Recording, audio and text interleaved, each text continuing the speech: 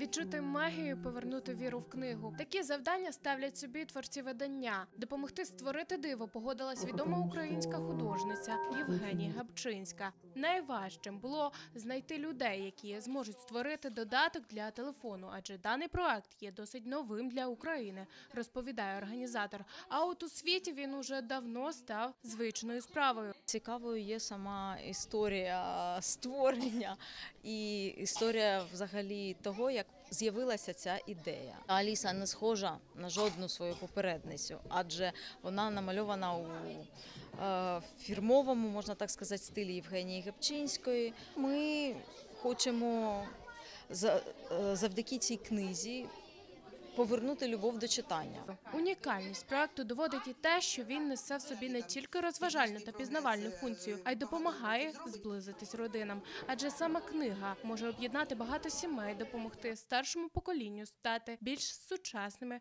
в очах малечі. Мы смогли сделать дополненную реальность для этой книги, и перед нами стояла непростая задача. Мало того, чтобы просто создать мультики, озвучку, интересные картинки. То есть мы сделали это интерактивным. Теперь с этим можно снимать видео, с этим можно делать фотографии.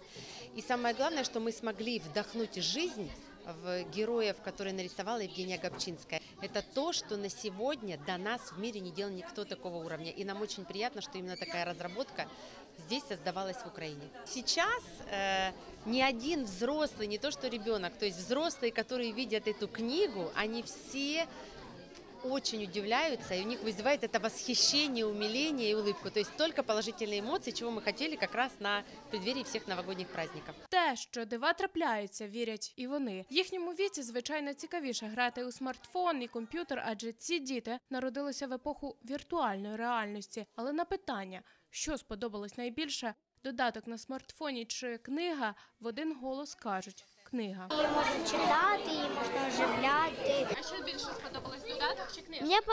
книжка. Книжка? Да. Зараз діти дуже-дуже розвинені, як кажуть, дуже продвинуті.